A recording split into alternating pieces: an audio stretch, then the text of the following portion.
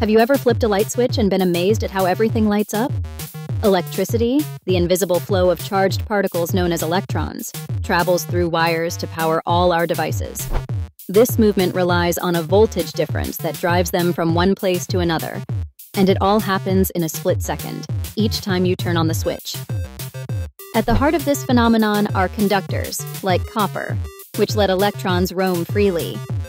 Meanwhile, insulators, such as rubber or plastic, keep electrons firmly in place, preventing accidental shocks. When electrons move, their flow creates a current we measure in amperes. Combined with a voltage push measured in volts, you get power. It's a delicate balance that keeps your gadgets running. Electricity flows in different ways.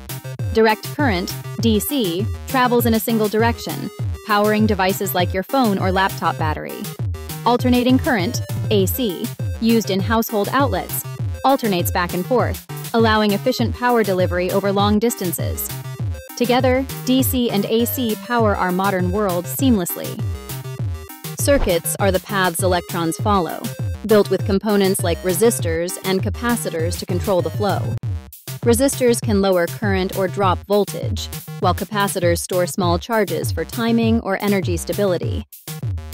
By arranging these parts in series or parallel, engineers design everything from phone circuits to complex computer boards.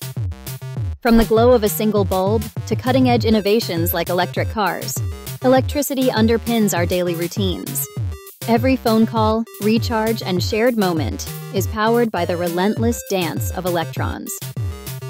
Understanding this power can open new frontiers in sustainable energy, efficiency, and technology breakthroughs.